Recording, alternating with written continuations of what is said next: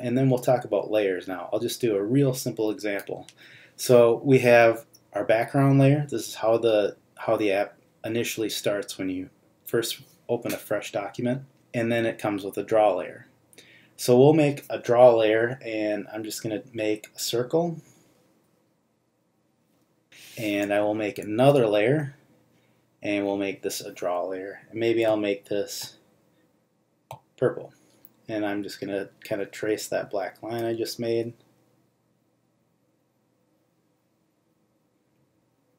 And to fill in the center, I'm just going to take my pen and tap and hold in the middle and it fills.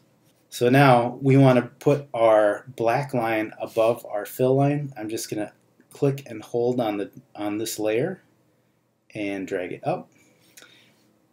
Maybe I picked a bad color, but not a problem. I'm going to go back to the draw layer and I'll actually rename these. And to do that, what you do is just tap on the layer. At the top of the menu, you see it says draw layer. I'm just going to tap on that and I'll call this fill. And then click done. And then I can tap anywhere off this menu to have it go away. And like I said, it's hard to see that dark purple fill with a black line on top, so I'm just going to select a new color and I'll select this lighter shade of purple and just click and hold inside and then it fills that shape.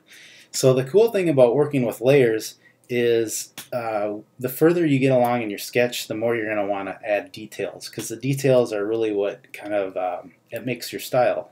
Everyone has kind of their own way on how they like to add detail. Some people don't like a lot of detail. Some people like a lot of detail. So let's add in maybe a highlight and a shadow. So I'm going to add a new layer. I want a draw layer. I'll call it highlight. Hit done. Tap anywhere off the menu. I'm going to go to my color palette and I'll choose, let's see, this kind of uh, bright pink.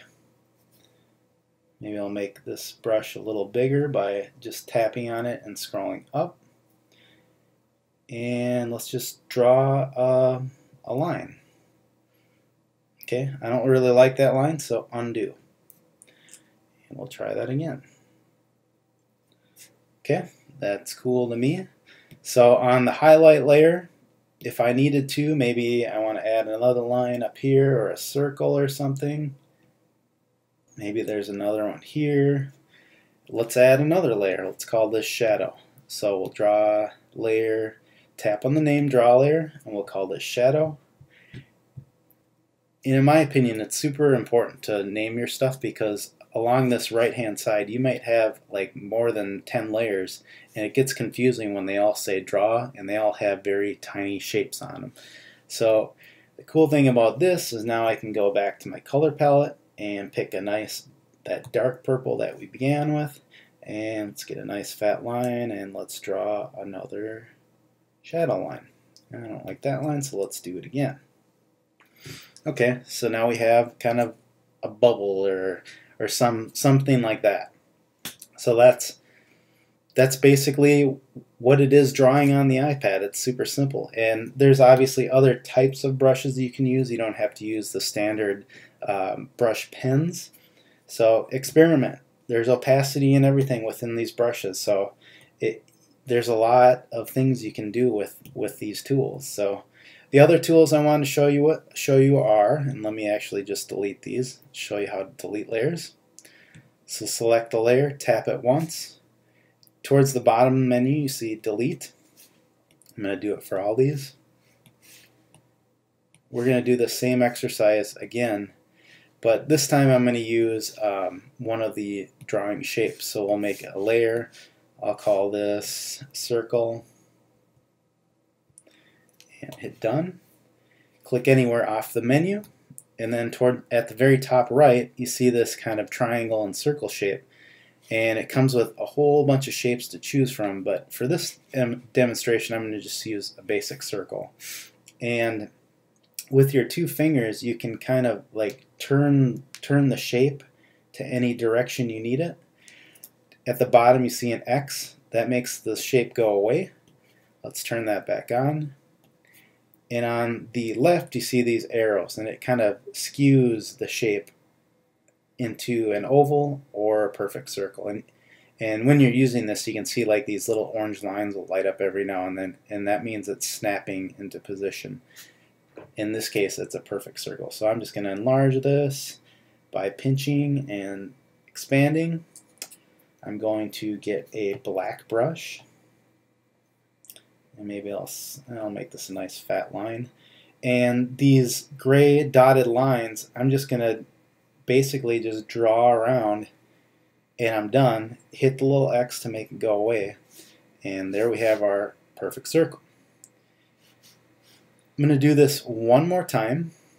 Actually, what I'm, I'm going to cheat here. Maybe I'll just go with clicking on this layer and clicking duplicate. So now on the right we have two circles and I will rename this one fill. And if you accidentally have your fill layer above like this, not a big deal. Uh, I'm going to show you why in a second here. So let's grab, um, let's take this pink color and I'm just going to click and hold my pencil within the circle.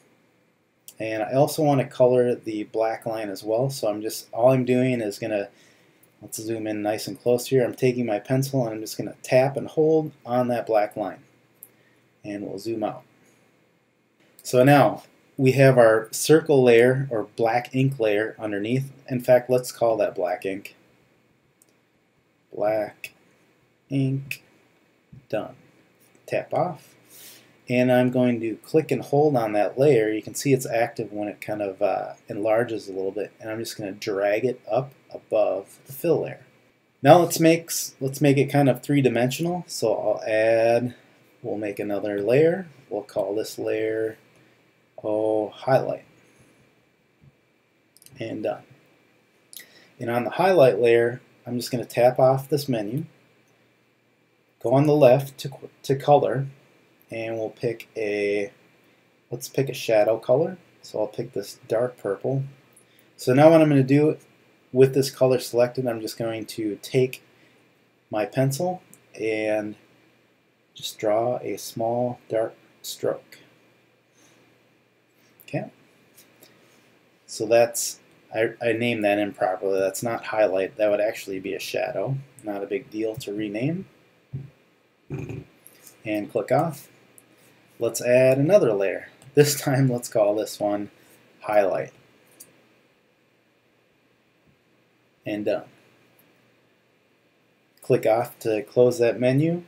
Select the color swatch on the left here. And let's choose this bright pink. And same thing that I did below, I'm just going to add a line, pushing hard and then letting up. And maybe I'll add like a little circle here. So I'm just going to draw a little circle, make sure that it's closed, and undo this. I'm going to show you something something along the way that you're going to need to know. So if I wanted to make this shape and fill it in with that pink, it's super easy to do. There is, however, a way that it won't work, and that's if I draw a circle and I purposely didn't close the line. So here's an open shape, and to the right here, I'll make a closed shape. So anytime you see, um, I'll just pick a different color here so you can see it. I'll put this in the middle of the screen so you can actually see it. So here is an open path, here is a closed path. That's the, the difference between the two. If it's not working or filling for you, that's the reason why is the path isn't closed. So to, to remedy this, I would just simply draw a circle, make sure that it's closed, and I can just click and hold inside the shape. Not sure what message that was. Let's try that again. And click and hold, and then there we filled in a nice circle. So that's how to draw with the iPad.